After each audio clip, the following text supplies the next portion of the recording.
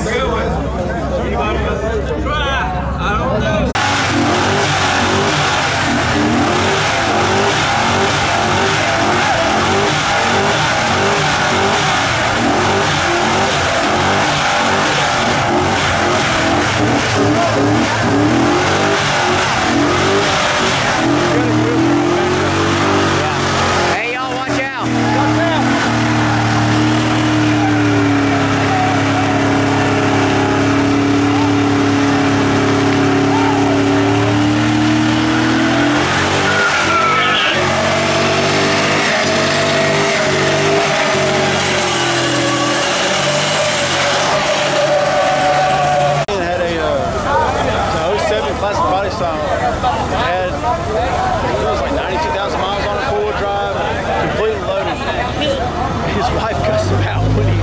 said, I think about getting rid of